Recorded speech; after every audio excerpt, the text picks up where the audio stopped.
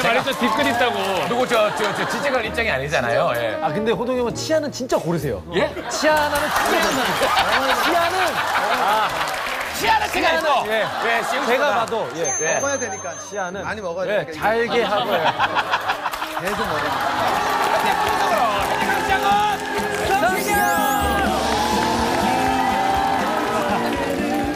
계속 뺏기는 거죠? 아닙니다. 첫 번째 분이 우승한 사례도 있습니다. 잠시 가지고 있다가 주시면 돼요. 예. 저희들. 자 다음은요 아이돌로 돌아온 카리스마 락 밴드 샤오림의 여신 김유라. 제목이 결혼은 무모한 어떤 짓이다. 유명 영화 뭐 엄정화 선배님 네, 그런 영화도 결혼은 맞추고 싶다. 일단 치시당한 것은 네. 좀 부정적으로 그죠? 그렇죠. 그렇죠, 아무래도. 헛짓이다. 결혼은 잘한 짓이야. 아니 주리 양이 맞추고 싶어서 그런 거예요. 네. 궁금하니까. 저희 개그맨 어떤 후배예요. 죄송합니다. 경우는 결혼은 헛짓이기도 하죠. 네, 그러니까 어떤 네모니까. 우리 네. 시청자분들도 맞추고 싶어 할 거예요. 다 들어갈 수 있죠. 어떻게 박사님 그렇죠. 없나요? 결혼은 네모 짓이다. 멋있는 거 좀 부탁드릴게요. 초능력자 같아. 초 결혼은 결혼은 뻘짓이다.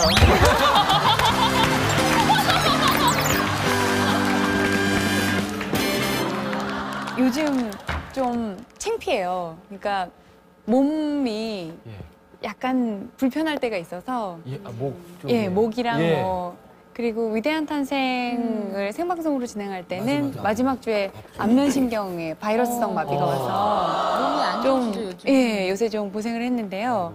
개인적으로 이렇게 엄마로서 생각해 보면 일종의 훈장. 특히 목 디스크는 정말 일종의 훈장이거든요. 어머니로서는 훈장이다. 목 네. 제가 2007년에 엄마가 됐어요. 네.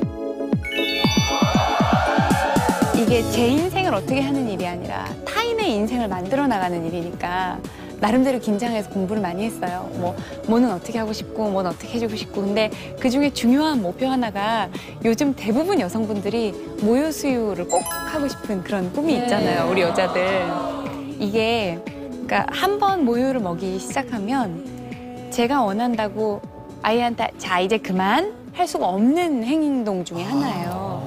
아이랑 말로 대화하는 건 아니지만 합의가 돼야 돼요. 서로 시기가 맞고 원만하게 그거를 끊을 수 있을 때까지는 해야 되는데 저의 경우에는 26개월이 걸렸어요. 오랫동안 그러니까 네. 굉장히 오래 그때. 자우림이 이제 7집 앨범을 내고 활동을 하던 시기였는데 녹화가 끝나면 제가 정말 미친 사람처럼 운전을 해서 집에 가고 어. 26개월. 그러니까 예, 좀 그런 생활을 합의가 잘 안 되는 친구네요. 근데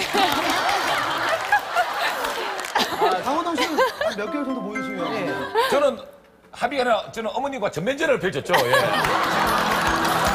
기억이 안 납니다만은. 근데 이제 아무래도 아이를 안고 먹이게 되니까 여자들이 힘이 별로 좋지가 않잖아요. 그렇죠. 그 몸에 점점 이제 근육이나 이런 데가 무리가 오면서 디스크가 생겼어요 그때. 아기는 크고. 아기는 점점 크고 그쵸. 요령이 없어. 네 그쵸. 요령이 없고. 둘째부터는 좀 괜찮아진대요. 네 그렇다고. 네. 처음에 너무 고생하더라고. 음. 어떻게 그렇게 자세히 잘 아세요? 모유 수유에 대해서. 저희 누나가 어, 조카가 둘인데요. 여섯 살, 세 살인데 둘째가 생기면 첫째가 질투를 그렇게 많이 해요. 어, 그럴 것 그러니까 같아요. 그럼 우리 누나도 모유수를 했는데 일단 가슴을 뺏기면 거의 뭐 약간 패닉이 오나 봐요. 아 어떻게. 어린 어린 친구가 예. 한다는 얘기가 가만히 옆에서 보다가 나도 좀 먹자.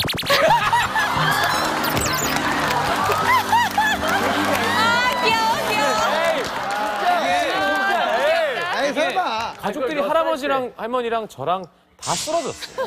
살면서 나도 좀 먹자라는 말을 처음 하는 시기가 한 최소 중학교 정도 돼야 아 나도 좀 먹자 이런 말 하는데 근데 다섯 살 아니, 동생이 생기면 사실은 그게 스트레스가 네, 엄청나대요. 예. 근데 그게 첫째가 혼자 있다가 네.